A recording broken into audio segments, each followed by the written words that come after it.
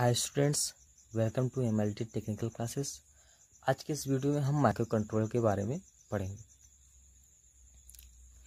Micro controller micro control यह एक electronic device है जो मुख्य तीन कंपोनेंट से मिलकर बना होता है। कहने का मतलब है कि microcontroller microprocessor memory और कुछ पेरिफेरल डिवाइसेस को सिंगल चिप पर इंटीग्रेट करके बनाया जाता है, ठीक? तो माइक्रो प्रोसेसर के और मेमोरी और input output devices and input output port इन सबको मिला को क्या बनता है? माइक्रो कंट्रोल कंट्रोलर यूनिट बनता है, ठीक? तो माइक्रो कंट्रोल जो है, यह है कॉम्पैक्ट इंटीग्रेटेड सर्किट है। जो इम्बेडेड सिस्टम में विशिष्ट ऑपरेशन यानी कि स्पेशल स्पेसिफिक ऑपरेशन को गवर्न करने के लिए डिज़ाइन किया जाता है। कोई पर्टिकुलर ऑपरेशन कोई पर्टिकुलर टास्क को कंप्लीट करने के लिए ये डिज़ाइन किया जाता है। माइक्रो कंट्रोलर या माइक्रो कंट्रोल यूनिट को रोबोट्स में मेडिकल डिवाइसेस में मोबाइल्स में, रेडियो ट्रांस रिसीवर में, वेल्डिंग वेल्डिंग मशीन में, होम अप्लायंसेस में, इन सब चीज़ों में यूज़ किया जाता है। माइक्रो कंट्रोलर को साठ में म्यू सी भी लिख सकते हैं और माइक्रो कंट्रोल यूनिट को साठ में एम सी यू लिखते हैं, कहते हैं।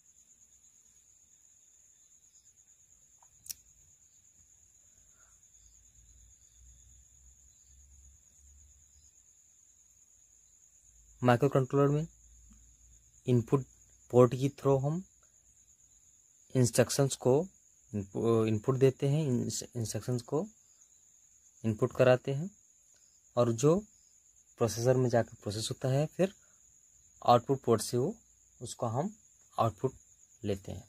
यानी कि प्रोसेस डाटा को हम आउटपुट पोर्ट के थ्रू डिस्प्ले करते हैं, यानी कि आउटपुट लेते हैं। माइक्रो कंट्रोलर की हिस्ट्री की बात करते हैं। जो वर्ल्ड का फ़र्स्ट माइक्रो कंट्रोलर था, उसका नाम था T M S one eight zero two N C ये नाइनटीन सेवेंटी वन में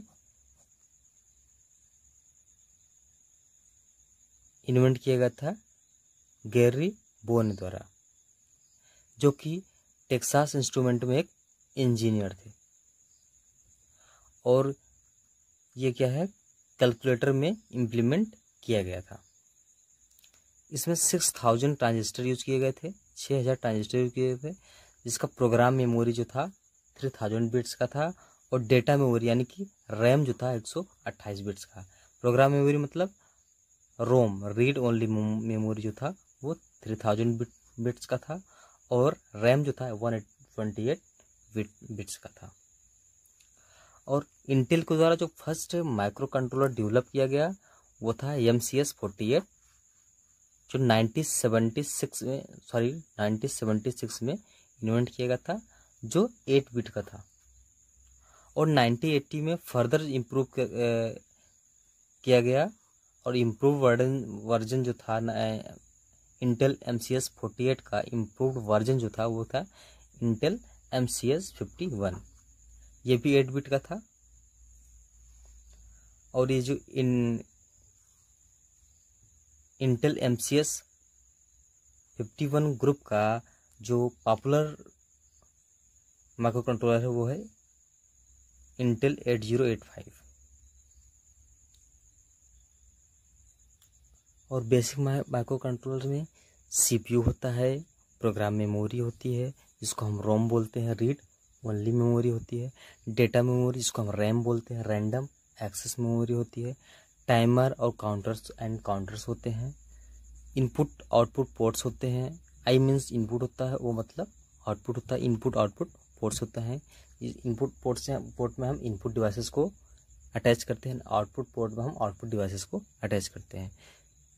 सीरियल कम्युनिकेशन इंटरफेस होता है इसमें डीएसी होता है digital to analog converter sorry digital to analog converter होता है एडीसी होता है एनालॉग टू डिजिटल कन्वर्टर होता है, यानी कि डिजिटल सिग्नल को एनालॉग सिग्नल में कन्वर्ट करने करने के लिए क्या होती है, क्या होता है डीएससी होता है, और एनालॉग सिग्नल्स को डिजिटल सिग्नल में कन्वर्ट करने क्या होता है एडीसी होता है।